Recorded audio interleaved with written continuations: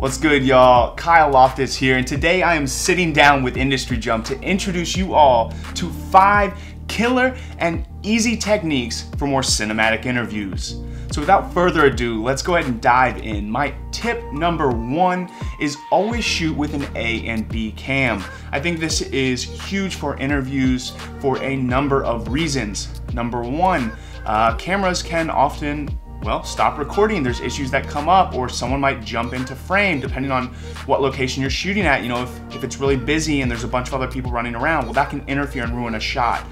Don't wanna have that happen, so having a secondary camera to pull footage from is great.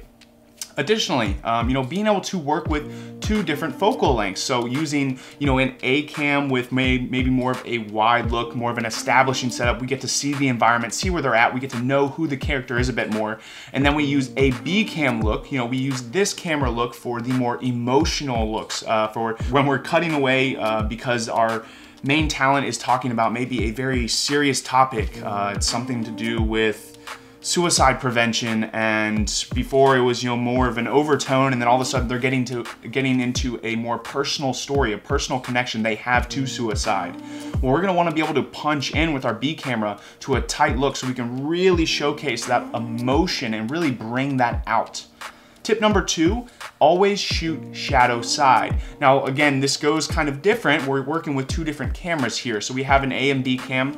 A cam, uh, I personally like to go with a straight on look. It's just my style. And you know, again, I, I use a B cam shooting shadow side. So the reason you wanna be shooting shadow side, if you're shooting on the key light side, you're gonna be shooting towards a flat image. You're gonna be shooting towards the side of the light, which means there's gonna be zero shadow, contrast, contours, like none of that is gonna be brought out. So when you shoot on the shadow side, you're seeing that, you know, the, the ridge line from the light, you know, cutting off on, on the edge here of my face. And you're seeing the contour and the shadow and that drop off. And that's making a more um, dramatic and cinematic image. Uh, it's just gonna have more appeal. Go ahead and look, this is not just in interviews. I mean, you'll see this in general film as well, whether it's um, going back and forth between characters and dialogue, or even if it's more of uh, like an action sequence or a tracking sequence, watch what side they're shooting on. I guarantee you, you know, 90% of the time they're shooting on the shadow side.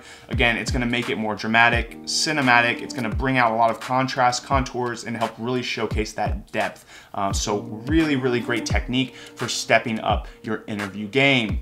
Uh, tip number three, use a boom setup. Uh, for me, I think this is huge. Lavaliers, yes, you can use them. Yes, they are great um, tools to have in your arsenal but I think they're just so much less, uh, well, cinematic and professional.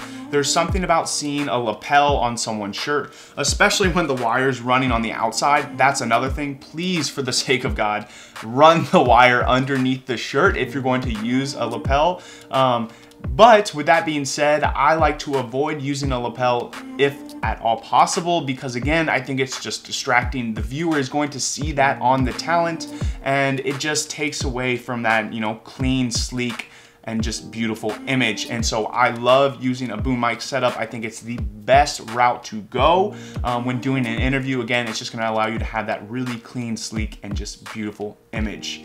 Tip and technique number four, utilize practical lights. So I have two practicals here. I have one right behind me. It's uh, actually not necessarily a practical, um, but it acts as a practical. So you're seeing uh, these different lights behind me from the LED strips.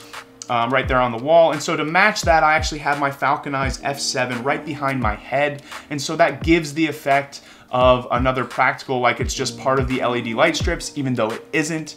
And again, it then thus acts as motivating light. It simulates and acts like the LED strips. Additionally, you know, I've got a uh, Edison light bulb over here on my right hand side, your left. And uh, that is you know on and that is acting as a practical as well.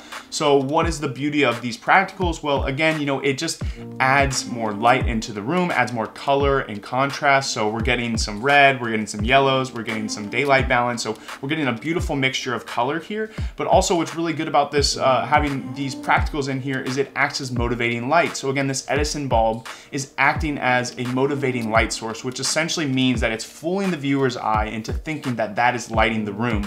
We're seeing that light, and for some reason, it is fooling our minds into believing the light is wrapping around my face and lighting this whole space and room. That's the beauty, and that's what's so um, important about utilizing practical lights is that they act as motivating light. So when you utilize practicals within your scenes, it makes the viewer uh, believe that those lights are actually creating and lighting this entire scene.